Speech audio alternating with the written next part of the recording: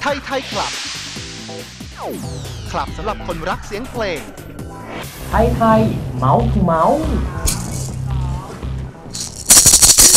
น้องถึงมาข่าวแรกยือ เป็นเรื่องราวดีๆกันละกันนะคะ เริ่มต้นรายการแบบนี้เราก็มีเรื่องของคุณโกตินั่นเองเขาบอกว่าตอนนี้เนี่ยเตรียมเซอร์ไพรส์แล้วนะคะ จะขอแฟนสาวที่ชื่อว่าน้องกวางเนี่ยแต่งงานแล้วคุณผู้ชมคะในปี 2561 นะคะ คืออีก 2 ปีนั่นเองนะ เอาเป็นว่าเรื่องราวคู่นี้เนี่ยน่ารักมากเลย เดี๋ยวเราใช่มีภาพไปดูกันด้วยนะคะว่าความหวานของเขาเนี่ยคุณรักกันแล้วแบบหวานจะอิจฉาคุณคู่นี้ใช่นะคะนะฮะหลังจากที่เขาบอกว่าเขาทั้งคู่เนี่ยคบกันมาได้ประมาณสัก 2 ปีกว่าๆจ้ะแล้วนะฮะอืมคุยกันแล้วมันสบายใจอืมนะฮะจริง ๆ เขาก็เลยคิดว่าถ้าไม่มีอะไรติดขัดเนี่ยจ้ะ ปี 61 เนี่ย น่าจะแต่งแน่นอนอีก 2 ปีอืเอมอนะคะซึ่งไม่นานวันนี้เองเนาะที่พี่โกติเขาแบบเปิดเผยรูปหน้าของแฟนสาวเขาปกติเห็นไหมจะถ่ายแบเอบอตอนแรกจะถ่ายข้างหลังถ่ายด้านหลังว้ถ่ายแบบออ เฉพาะมือ ถ่ายแบบครึ่งหน้าอะไรอย่างเงี้ยใช่ อุ๊ยแต่น้องเขาน่ารักเนอะหน้าแบบหมวยๆนะคุณเนาะ เออน่ารักอืม อืม นะคะ แล้วก็เมื่อวานนี้ค่ะวันที่ 1 มิถุนายนนะคะ พี่โกติค่ะก็ได้เตรียมเซอร์ไพรส์น้องกวางอีกรอบนึงนะคะ เขาบอกว่าตอนนี้เนี่ยมีแผนจะแต่งงานกันแน่ ๆ เลย ตอนนี้พี่โกติก็ได้ไปคุยกับคุณพ่อคุณแม่ของน้องกวางแล้วเรียบร้อยนะคะ ครับ แล้วก็ได้เปิดใจกับทางอ่านักข่าวด้วยนะคะว่า เจอที่บ้านน้องกวางแล้ว คุณแม่ก็อนุญาตให้คบหากัน แล้วก็ตัวเองเนี่ยได้เจอกับพี่ชายทั้ง 5 คนของน้องด้วยอู้ยมีพี่ชายตั้ง 5 คนนะคุณโอ้เลิศนะนะเลิศนะคืออะไรคะ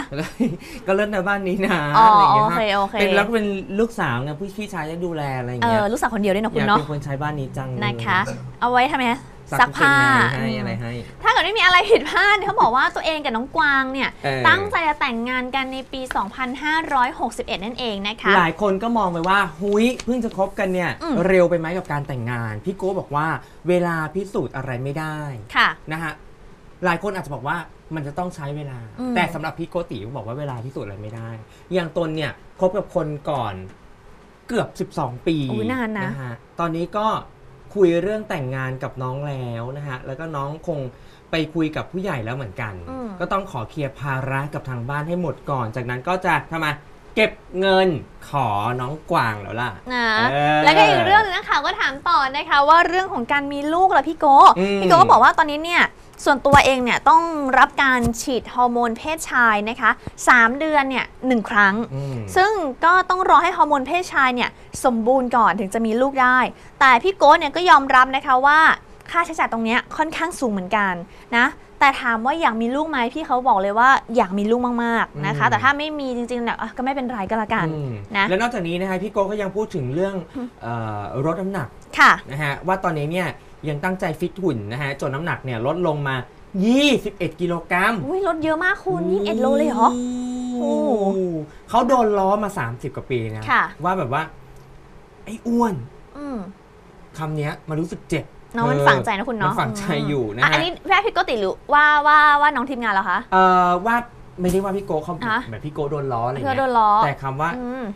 ไอ้อ้วนเนี่ยเขาโดนล้อมาใช่ไหมแต่ถ้าอีอ้วนเนี่ยอืมคือด่ามันอ๋อนะฮะคุณโก้เขาเลยบอกว่าเอออยากเปลี่ยนแปลงบ้างอะไรบ้าง ก็อยากจะแบบว่าลดน้ำหนักลงเรื่อยๆจนแบบมีซิกแพคอะไรอยู่มีซิกแพคอะไรอยู่โอเค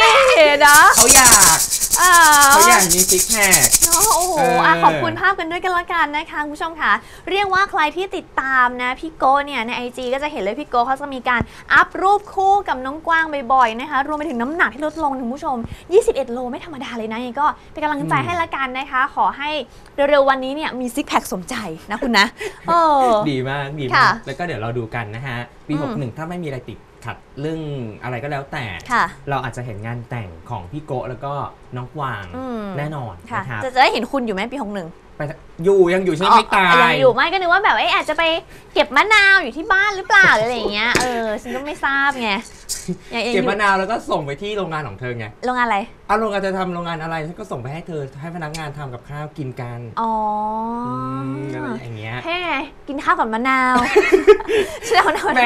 การทำกับข้าวมันก็ต้องมีมะนาวปรุงรสอ๋อโอมันเคถึงจะโออเคร่อยอ่าเออนะคะช่วงหน้าเธอ ยังไงคะ เธอเคยฝันอะไรที่มันเป็นรางบอกเหตุไหมไม่ค่อยคนะล้ายๆอย่างนี้ แต่เคยฝันเหมือนแบบเหตุการณ์เหตุการณ์ที่แบบเคยเกิดขึ้นแล้วเมื่อก่อนอะไรเงี้ยแล้วเหมือนฝันซ้ำอะไรอ๋อเงี้ยเขาเรียกมีเขาเรียกจมปลักลูกอะไรอย่างอ่าเงี้ยนะจมปลักแล้วเขาคะเรียกจมปลักขอบคุณจิตค่ะที่จมปลักแต่เนี้ยเหมือนเป็นมีคนมาบอกหรอคุณเออมีคนมาบอกอุ๊ยว่าเอออยากใส่ขนลุกสร้อยสู้เส้นเนี้ยหรอ อยากใส่สร้อยเส้นเนี้ยไปงานบวชลูกอะอืม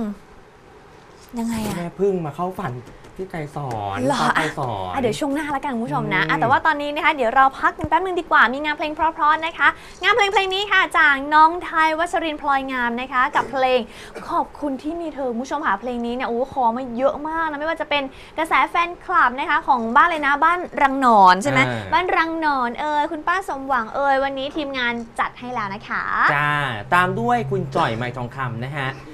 กับเพลงพระแอบ เพลงนี้ เป็นไรคุณขอมาเยอะ ขอมาเยอะอืเอมอนะนึกว่าร้อนนะคะเอาเพลงต่อไปคำว่าหลอก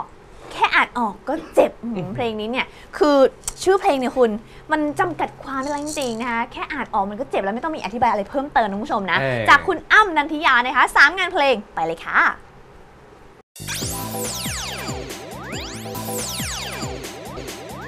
ไทยไทยคลับคลับสำหรับคนรักเสียงเพลง